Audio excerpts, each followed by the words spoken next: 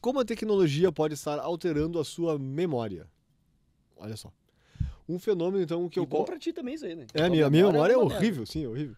Fenômeno que ocorre quando a pessoa está pronta para es- ah, esquecer informações importantes, acreditando que elas poderão ser imediatamente recuperadas pelo celular. A chamada amnésia digital, ou terceirização da memória, tem impactado a memória de milhares de pessoas. Então, o Drauzio Varela está aqui na Wiki da Brasil TS, fala... Se vendo o. Ele fala português, ele pode. Fala sobre os impactos da tecnologia a longo prazo no desenvolvimento de memórias e como estimular a retenção de informações no cérebro. Isso é uma coisa que é fato, tá? E eu já venho trazendo. É, é- é uma área meio cinza, isso aqui. Porque quando eu falo algumas coisas, alguns olham pra mim e dizem assim: ah, tu é conservador. Né? Ah, a tecnologia tá aí pra inovar, tem que usar isso aqui. E ao mesmo tempo, porque algumas coisas soam um pouco conservadoras, né? Porque eu, eu digo, ah, eu digo pra algumas pessoas que eu conheço, o celular tá, tá te arrancando a tua criatividade de ti, tu não tá exercitando criatividade. O celular tá arrancando momentos sociais que tu podia estar tendo por causa dele. Tu prefere ficar. Às vezes eu olho e tem tipo cinco pessoas numa mesa, todas no celular, cada uma delas tá no seu mundinho. E aí eu depois eu pergunto assim: que que, tu aprend... o que, que tu tirou de útil disso aí que tu tava fazendo agora? Porque tinha cinco pessoas aqui com coisas úteis que tu Dopamina. podia. É, é. Só dopamina. Então, pode falar. Não, o cérebro tá cada vez mais preguiçoso, né? Sim, E exatamente. aí- Por que fazer esforço se tem uma coisa que faz o esforço pra mim? Exato. É. É E- bem isso. E aí o que ele traz aqui é bem isso relacionado à memória, que é um pedacinho do que o nosso cérebro faz, né? Uma parte dele, né? Então imagina, se tu não estimula a memória, não estimula a criatividade, né? Não estimula relações, comunicação, etc. Deixa a IA controlar então mesmo. Que que é a humanidade do futuro? Estamos fritos, né? Se é tu que vai editar o futuro, estamos ferrados. Então tem que estimular, tem que exercitar. E aí o que ele traz, isso é bem interessante, porque ele atinge um público muito grande, né? E ele traz isso para as pessoas começarem a perceber. Elas vão ignorar imediatamente. Elas já esqueceram o que ele falou, inclusive. Mas é um, tópico muito interessante, sim. Eu achei legal o exemplo que ele dá ali da, daquele teste, né, que foi feito, né, com acho que era com adolescentes, né, de, de grupo controlado, né, Uhum. com celular, com celular desligado ou com celular ligado e sem celular e fazendo, enfim, algum, algumas coisas ali para Atividades, assim.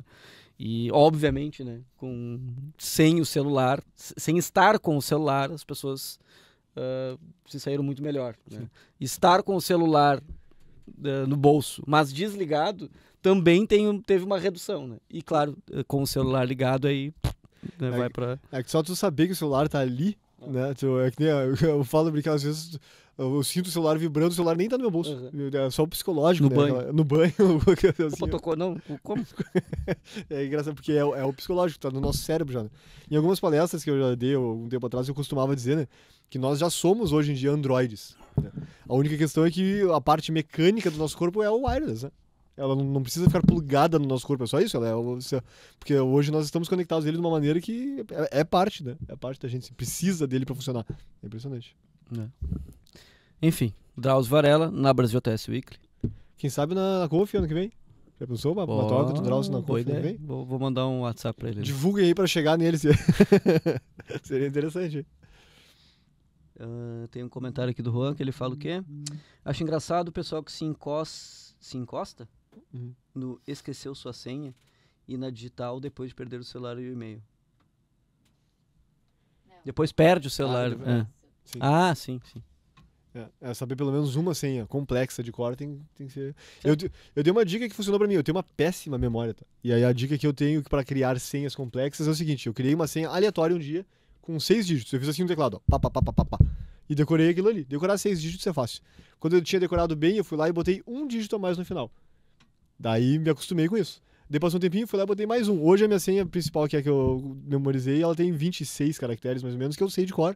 Porque eu fui indo de um em um, bem memorizadinho, assim, né? E aí é sempre um caractere aleatório, assim. Vou lá e pá, no teclado sem nem olhar e boto ele, né? E aí tem letra, número, símbolo e tudo mais. Então é mais fácil de tu memorizar por causa. Assim. Fica uma dica. Pelo menos uma tu ter bem memorizado e usa ela como base né? É, no final das contas, uma tu vai ter que ter, né? É. Eu, eu uso gerenciador de senha, então todas as minhas senhas são, obviamente, gigantescas, e... mas uma eu preciso ter, né? Sim, sim. Porque eu preciso ter o acesso ao gerenciador de senha. Sim. Daí a senha é Jadson123. Se essa senha acessa tudo. Caso queiram, caso queiram me hackear aí. Que é difícil escrever Jadson. Pessoas, é, você quer dizer, tá seguro, o pessoal não vai escrever Jadson certo.